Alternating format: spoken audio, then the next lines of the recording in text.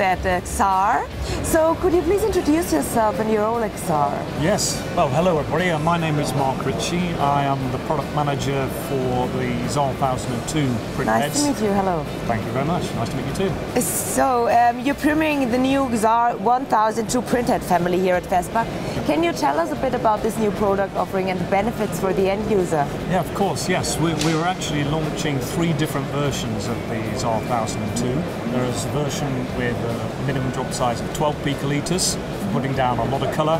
Six picoliter version for more fine printing, and we've also introduced a totally new one which is called the Xaar 1002 AMP, which is designed to put down very, very small deposits below 3 picolitres for advanced manufacturing applications, so for functional fluids rather than decorative. Very interesting. So you got a lot of new product launches right now at the We FESPA do, 2014. we do. It's very busy, very busy. Um, so are there printers on site here at FESPA in general that are using this uh, printhead technology as well? There are that on the ink stand there is uh, a, a, a graphics printer with the Xaar 1002, which is the first one here at FESPA that's showing it. We do have uh, simultaneously uh, in the ceramics market at China Ceramics some of our print heads in, in, in machines there too. Not so easy to see for the people in Munich, I know, but uh, it's happening worldwide. Okay, so Xaar is the technological partner for, for the FESPA. What does this partnership mean to you as a company? Well, it's very important for us to engage with the printing industry uh, on a worldwide basis. This isn't a localized industry, it's a huge industry. We can't do it in isolation.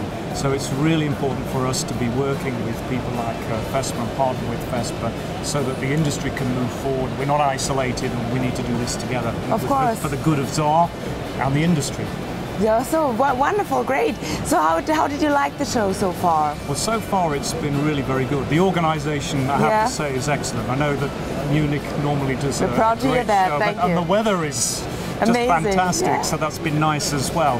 Um, but it's been a very slick organisation. We've had a lot of high quality visitors uh, onto our booth, and from a, actually a very surprisingly wide range of industries, which actually fits very nicely with the deep dive or, or dive deeper into digital, uh, because we're seeing people from uh, manufacturing industries rather than decorative one who have been visiting the show. So it's a broad really range, huh, Yeah, indeed. Amazing. So, uh, and what does the future hold for Xaar? Well, Xaar's had a very, very successful last few years, and uh, what we can't afford to do, like any business, we're not going to stand still. So uh, our Moving aim, forward and forward, our yeah. aim is, is to really try and digitize, digitalize uh, industry, and not just printing, but also manufacturing industries as much as we possibly can. So we we're, we are investing huge amounts of money into research and development to bring new products to the market that will really enable uh, digital to be used much more widely. So I wish you the best with achieving your goals and have a good day and thanks for the interview. Thank you very much. Bye-bye. Bye.